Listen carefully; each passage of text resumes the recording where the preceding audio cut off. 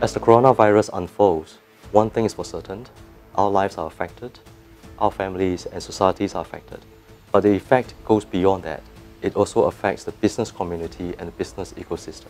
So organizations should now have activated their business continuity plans and be prepared to deal with the impact of the coronavirus. So three quick things the companies can do. Firstly, companies should pull out their policies and procedures, have a go through and identify opportunities where they could uh, pick up uh, things such as governance and how do they ensure the continuity of the governance so that whilst the company goes through a split op, op uh, model, the governance are not compromised.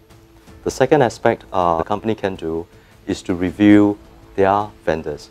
Pick out the list, go through any vendors that are critical to the operation, and then have a conversation with the vendors to make sure that under a split op operation, or if the pandemic does stretches on a longer, into a longer duration, that the vendor is able to assist the company uh, deliver their services. And the third thing that companies should do very quickly is to develop a set of communications. And communication should include uh, what to say to, to the staff, to the employers, to the customers, to the public, if there is a suspect case or if there's a confirmed case.